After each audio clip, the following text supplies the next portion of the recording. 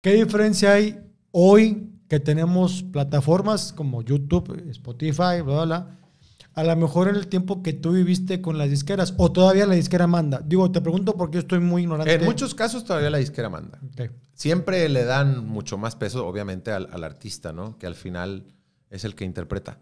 Pero eh, siguen teniendo cierto peso. Existen compañías muy importantes todavía y por algo existen. Sony, Warner, bla, bla, bla. Ujú. Universal.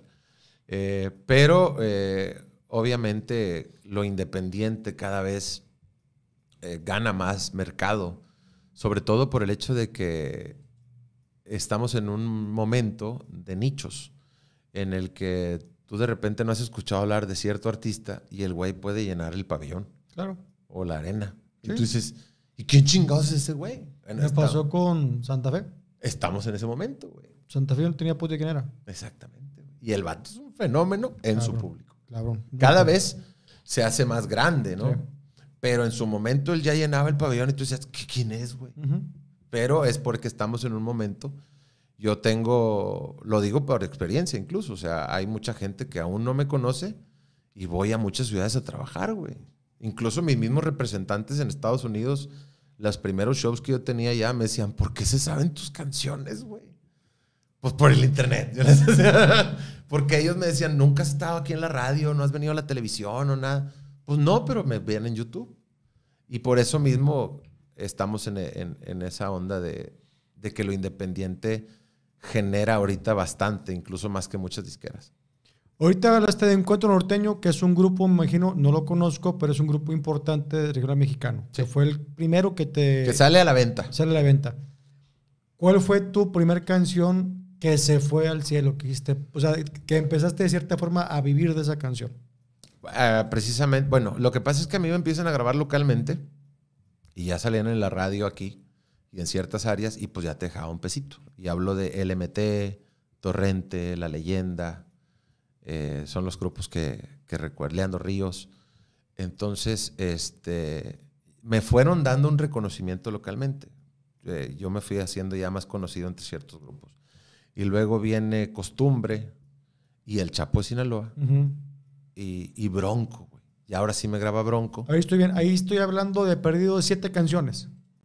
De perdido. O sea, mencionaste a LMT. Un, Ah, sí, sí, sí. O sea, de perdido son siete canciones. Siete, las que diez están- canciones. O sea, es que a mí, cuando me graba o cuando sale el disco Encuentro Norteño, por bendición, inmediatamente empiezan a grabar todos, güey. LMT, Torrente, El Plan, La Leyenda. O sea, voltearon a verte. sí, güey. Pa, pa, pa, pa, pa, todo. Ya yo estaba dando. O sea, yo hubo un año que la SACO me habló para darme un reconocimiento porque tuve como 40 grabaciones, güey, en un año. Así.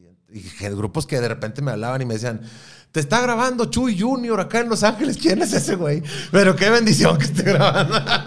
Entonces, estaba con madre, porque a veces no te das cuenta. O sea, tu ref- el referente de todos fue Encuentro Norteño. Ah, no, ahí sale. O sea, yo lo veo. Simplemente yo creo que fue coincidencia, güey. Es como. O sea, fue el primero que sale a la venta, pero inmediatamente eh, me habla Kirri para decirme, güey, siempre sí te voy a grabar. Kirri de LMT. Ah, con madre, Que ya güey. te conocían, Ajá, pues. Y luego, sí, porque pues les chingaba a diario, güey. yo no cono- Es que yo realmente empecé en este pedo y no conocía a nadie, güey. A nadie, güey. Incluso, este. Lo digo siempre con mucho orgullo. O sea, yo no entré aquí por un tío, ni por un padrino, ni por un Fue por las ganas, güey. Siempre estaba chingue, chingue al grado que ya me conocían, güey. O sea, yo llegaba a la disquera y el director, ¿cómo estás, Elías? Los Chávez, los dueños, ¿qué onda, Elías? Y, pero este güey le han grabado. No. ¿Es cantante? No. Es nada. Pero ahí está todos los días, güey. Hasta Carlos Cabral Jr., güey. Un, un- un gran productor. Él me decía, tan buenas tus rolas, güey. Yo no sé por qué no te han grabado. Entonces yo ya conocí a todos. Cuando yo creo que fue más que todo el mundo estuvo, ya me dio la oportunidad de escucharme y a lo mejor dijeron, sí, están buenas, güey. Porque, pues te digo, apenas me grabó uno y empecé a constantemente, cada disco, cada disco. Y luego la leyenda te grababa una y al siguiente disco te decía, no, güey, este, ahora te voy a grabar tres, güey. Igual Torrente, igual El Plan, igual, repito, todos los, o sea, y te daban oportunidad grupos que tú añorabas, como Bronco, este, Los Cardenales, güey. Y luego viene lo de Pesado y Pesado da un super madrazo con el Mil Amores. ¿Cómo yo he pesado contigo? Yo conocí a Pepito Elizondo. Tipazo. Exacto. Tipazo. Él es eh, mi hermano mayor en muchos aspectos de la vida y de esta carrera. ¿Cómo lo conociste? por mi compadre Papilla de la leyenda. Él me el bajista de la leyenda me lleva a una fiesta de Pepito En su rancho. en el rancho, en la Sí. quinta. Este, y Pepito, pues tú sabes, es un súper anfitrión y bienvenido y bla, bla, bla. Y luego me escuchó cantar, güey. Y este, O sea, fuiste a hacer audición, como quien dice allá en la quinta. Yo fui a tomar. Porque también he de decir que yo en ese entonces me la pasaba de pedote, güey. Estaba soltero. Sí, súper soltero, güey. De hecho, esta semana pasada estuve de vacaciones con mi mujer y me dijo, lo que más admiro de nuestra relación es cómo renunciaste a todo lo que tenías, güey. Porque yo primero me fui a vivir con ella. Porque tú eras pedote, libertino, hacías de tu vida un papalote, güey. O sea, yo, no, yo era un desmadre en completo. O sea, eres el típico este, sexo, droga, rock and roll. ¿Te acuerdas? Tú eres contemporáneo mío, se me hace. Había Sí. una película que se llamaba Solo con tu pareja, Sí. ¿sí? Que salía de Mian Bichir, creo, Sí, sí. o algo así. El vato se dedicaba a hacer jingles o frases para comerciales, güey. Esa película, malamente, yo la vi muy chiquillo, como a los siete años, güey. Y te marcó, cabrón. Y yo veía que el vato en pijamas, güey, y en pelotas, con nada más con la bata, estaba chiles verdes, no sé qué pedo. Lo mejor para tu cocina. Y ese era su jale, o sea, yo quiero ese pedo. O sea, el Charlie Harper, haz de cuenta, güey. Sí, güey. De- Entonces yo tenía amigos que me decían, hijo de puta, los que estaban conmigo en la prepa o algo, porque ellos se daban cuenta de mi vida, güey. Yo con una rola en ese entonces vivía varios meses, güey. Entonces yo era en pijamas todo el pinche día. Escribía una rolita, la mandaba, me la grababan, ganabas otra lana y así te ibas, güey. Este, total, volviendo al tema, este, Pepito me escucha cantar en la peda y me dice, eh, güey, cantas chido. Este, No sé de quién eras. no, no, no. Ah. Nos vamos a juntar la otra semana, vente, güey, para que cantemos tú y yo. Ah, con madre. Y voy a la siguiente semana y este. Y pues pisteando todo, y ahorita voy a cantar con este güey. Ya, nada más que durante cinco años fui el, el- el- me decía él que éramos el horario estelar, pero eh, ya cantábamos a las cinco y media de la mañana.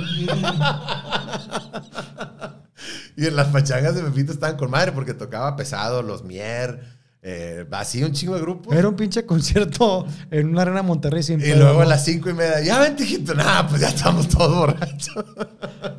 este, entonces, con el tiempo le fui agarrando confianza y le dije, Pepito, este, yo soy compositor. Y ya me grabó tal, y ya me grabó tal. Y, a ver, mándame canciones. Y a la siguiente vez llegué con un disco.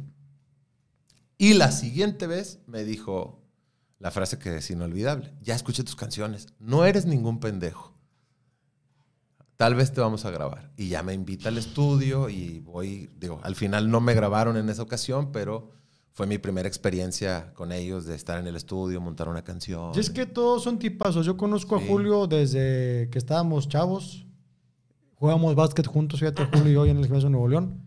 Este, a Pepito lo conocí por el Unicornio Azul, un día me contrató. A Beto no tengo el gusto de conocerlo, pero sé que son tipazos todos. O sea, son chavos que, o señores que no han como perdido el piso a pesar de toda esta fama que tienen, ¿no? Sí, incluso yo tengo raza. un podcast que se llama Para Lucía, que es un anecdotario de mi vida. Y en un capítulo le platico de pesado y hablo tantito de cada uno de ellos, de lo que me han ayudado a mí, porque todos, güey, en, en- en lo que a mí respecta, todos me han ayudado en un momento dado, tanto de mi carrera como de mi vida. Y son unos tipazos conmigo, siempre han sido todos, todos, güey, con- como unos ángeles, neta.